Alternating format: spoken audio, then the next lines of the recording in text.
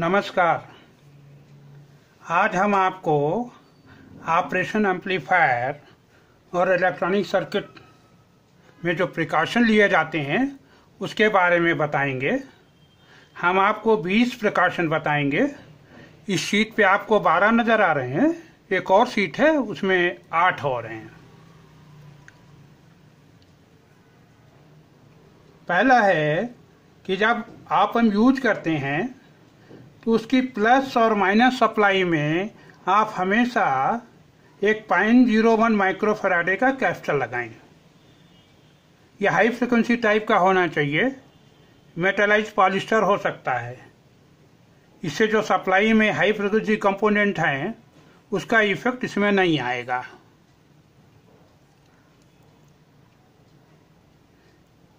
फिर इस polyester capture के अलावा एक हम इलेक्ट्रोलाइटिक कैप्चर भी लगाते हैं 10 माइक्रोफेराडे का, जो इसकी करंट को सप्लाई कर सकता है।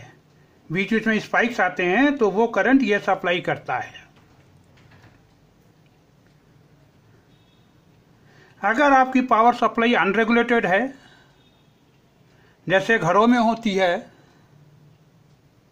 कॉलेज में लैब में तो आपको रेगुलेटेड सप्लाई मिलती है, तब ये काफ़ी है।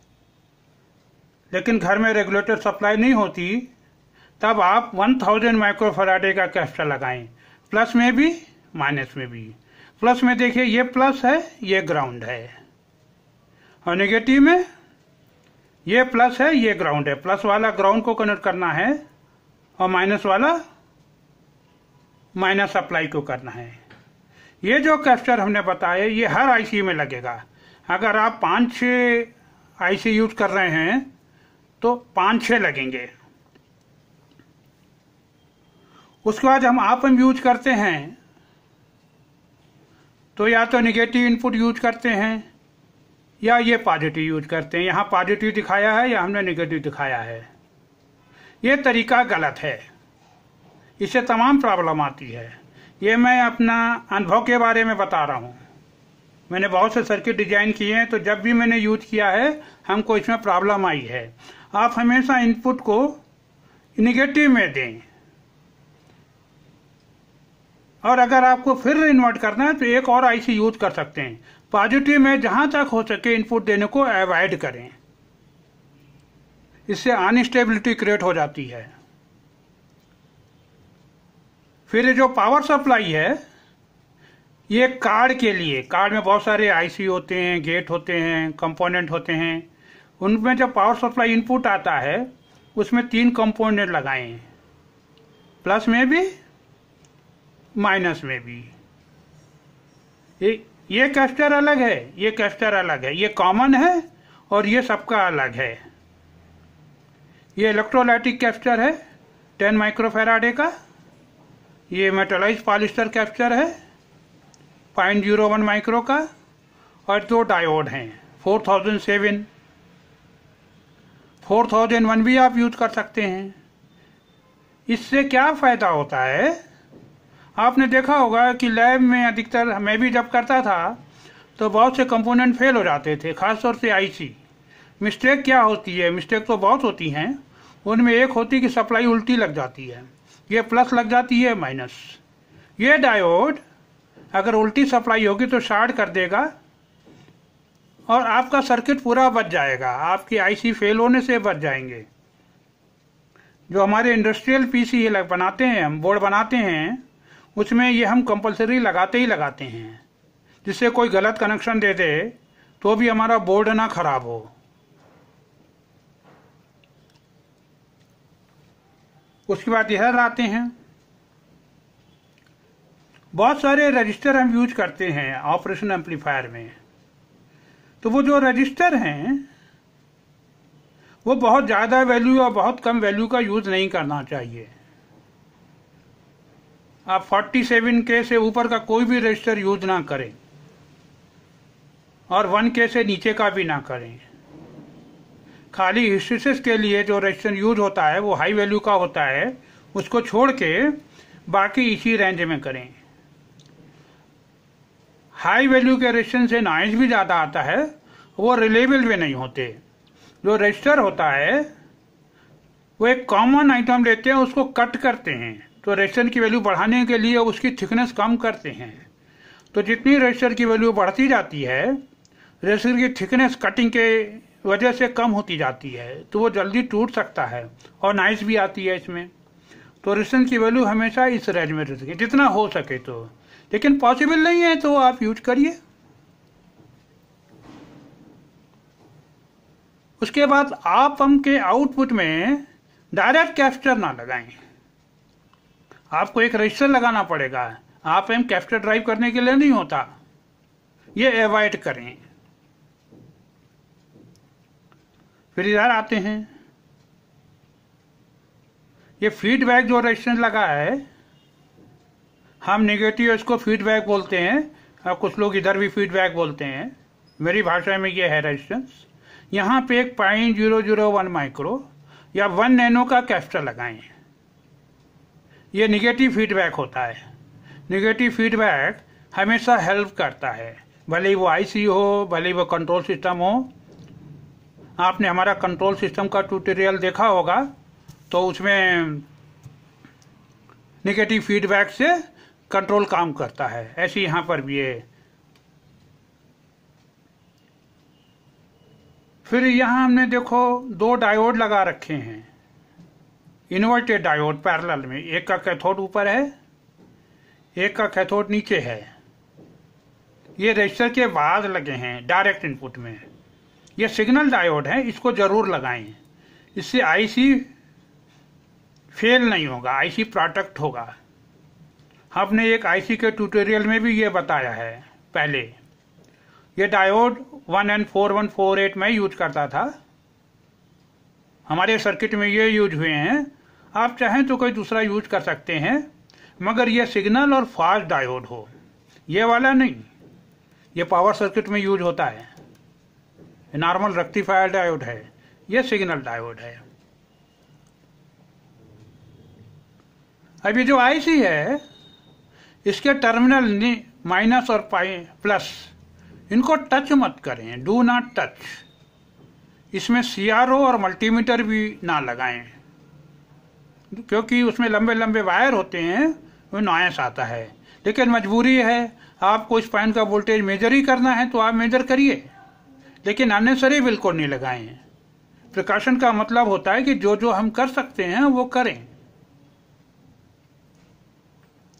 इसको ना हाथ से छूना है, ना सीआरओ लगाना है, ना मल्टीमीटर लगाना है, ना कोई यहाँ से वायर लगाने हैं। ये रेजिस्टेंस सीधा प्लस में, ये रेजिस्टेंस सीधा माइनस में जाना है।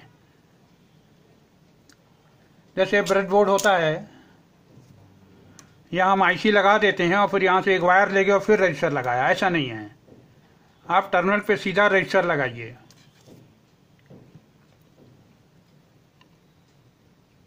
अब पीसी में जो आप कंपोनेंट यूज़ होते हैं यहाँ हमने डायोड दिखाया है रजिस्टर भी हो सकता है। जैसे ये वाला डायोड है, उसकी रेटिंग है वन एम्पियर मगर आप कैटलाग पढ़ें तो उसकी बहुत सी कंडीशन है। जब ये डायोड में या रजिस्टर में करंट फ्लो होती है तो ये गर्म होता है। गर्म होने के लिए उसको कूलिंग चाहिए। तो वो लोग कूलिंग के लिए इस पर डिपेंड करते हैं। ये जो लीड है ना, ये लीड से हीट शॉर्ट लेंथ होना चाहिए। ये जो लेंथ है शार्ट होनी चाहिए। शार्ट होने से जो हीट है लीड के थ्रू फ्लो होती है और पीसीबी में ट्रैक होती हैं। पीसीबी ट्रैक कूलिंग तो पीसीबी जो ट्रैक होती हैं, वो कूलिंग का काम करती है, वो हीट सिंक का काम करती हैं। तो ये लीड जितना छोटा होगा, उतनी हीट जल्दी ट्रांसफ़र होगी। आप डाटा शीट देखें तो उसमें ये स्पेसिफाई है कि इस लीड की लेंथ मैक्सिमम क्या है। अगर उससे ज़्यादा आप लीड ले रखेंगे तो डायोड या रजिस्टर खराब हो जाएगा। तो ये आप ख्याल रखें।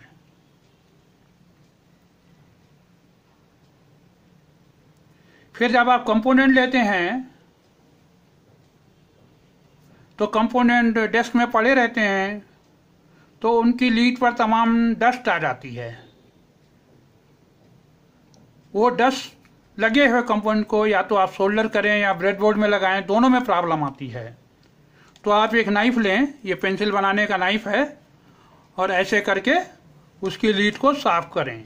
साफ़ करने के बाद यूज़ करें। अगर नया है रजिस्टर तो भी साफ़ करें। साफ़ करने से यहाँ पे कांटेक्ट अच्छा होगा आपका।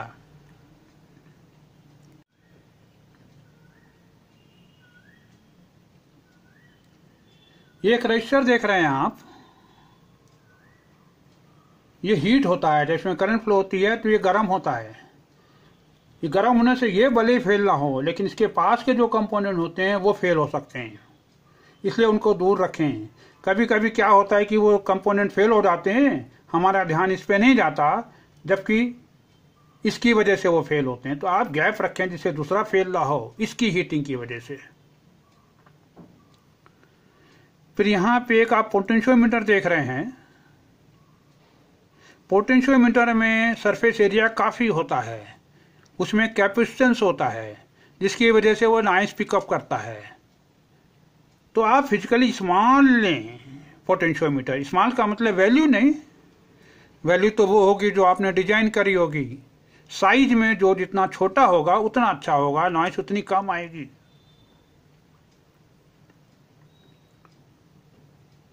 अब ये ब्रेडबोर्ड देख रहे हैं आप।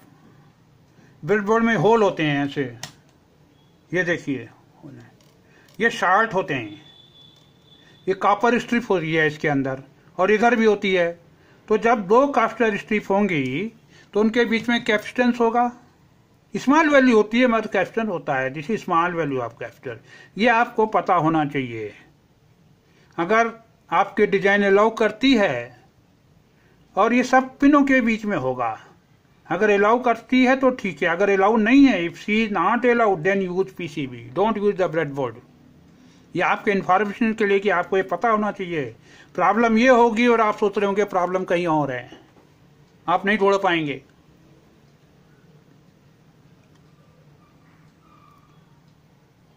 अब जब हम पावर सप्लाई ऑन करते हैं तो थोड़ा वेटिंग पीरियड होना चाहिए। करीब साठ सेकंड क्या होता है, जब हम ऑन करते हैं तो कंपोनेंट हीटअप होते हैं अंदर। आईसी में भी, बाहर भी। तो उनको स्टेबलाइज होने में समय लगता है। आप उनको स्टेबलाइज होने दें। एक मिनट रुकें, फिर सर्किट चेक करें। आपकी कई समस्याएँ खत्म हो जाएँगी। उसके बाद margin for lack of knowledge क्या होता है? हमारे कुछ नॉलेज होती है। हम सोचते हमें आता है। लेकिन भगवान तो कोई नहीं है ना। सबको नॉलेज गैप होती है। हमें भी होगी, आपको भी है। तो थोड़ा मार्जिन रखें कि शायद हमको नहीं आता हो, शायद हमसे गलती हुई हो। अगर आपने फाइव वाट कैलकुलेट किया है तो छः वाट माने अगर point one ampere design value आती है तो कंपाउंड ऐसा लें जो पॉइंट वन टू एम्पियर तक ले सके। इसको बोलते हैं margin for lack of knowledge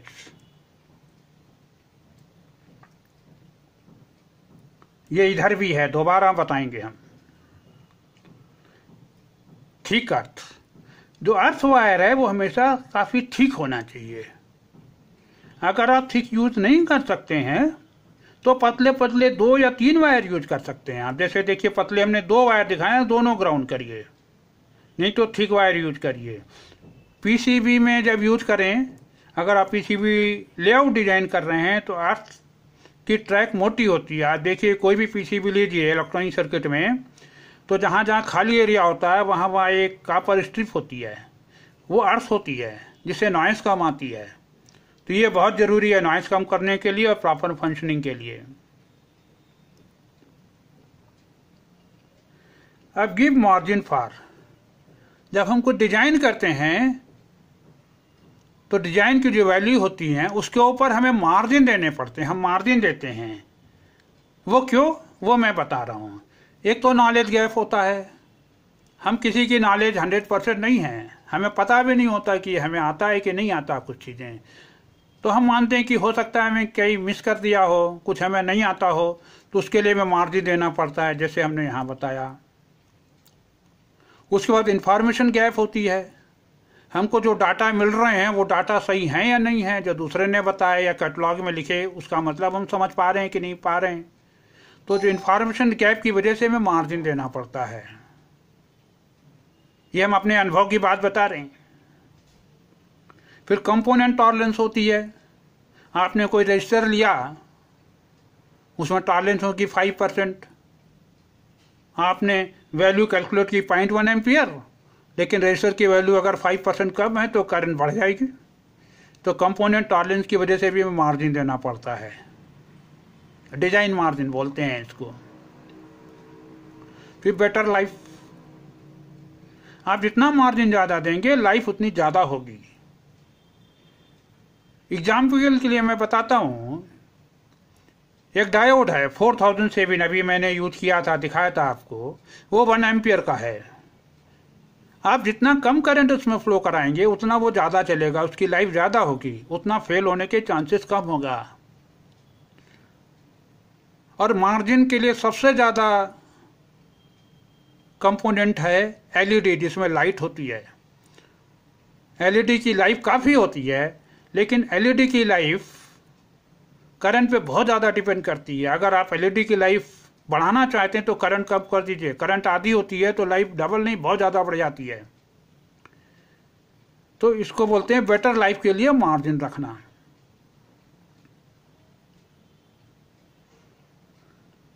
electronic circuit में इंडस्ट्रियल सर्किट में जब हम कहीं डायोड यूज़ करते हैं एलईडी यूज़ करते हैं, और पॉसिबल वो इंडिकेशन के लिए नहीं है तो हम ये कोशिश करते हैं कि उसमें करंट कम से कम फ्लो हो। उसको हम शॉर्ट ड्यूरेशन के लिए यूज़ करते हैं, और अधिकतर वो ऑफ़ रहता है। सर्किट ऐसा होता है। बेटर रिलेबिलिटी आप जितना मार्जिन देंगे, उतना रिलेबिलिटी बेटर आएगी। उतना वो फेल नहीं होगा। अगर 10 एम्पियर का कोई चीज़ है, और आप उन्हें पाँच एम्पियर फ्लो कराएँ तो फेल नहीं होगा, बारह कराएँगे तो फेल हो जाएगा। तो थोड़ा बड़ा बनाएँ, ज़्यादा मार्जिन से बनाएँ, जिससे रिलेबिलिटी उसकी अच्छी हो। बैड क्वालिटी ऑफ़ कंपोनेंट्स आप जो कंपोनेंट लाते हैं, उनकी क्वालिटी अच्छी नहीं होती।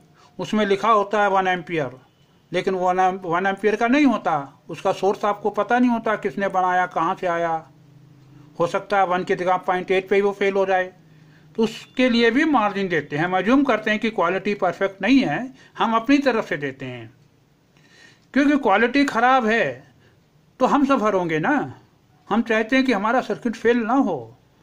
तो उसके कोशिश के लिए हम इसके लिए भी कुछ मार्जिन देते हैं। उसके बाद इन्वायरमेंट आप लैब में काम करते हैं। लैब में एसी हो सकता है। या आप एक ऐसे सिटी में काम कर रहे हैं जहाँ ठंड ज़्यादा पड़ती है, गर्मी कम पड़ती है,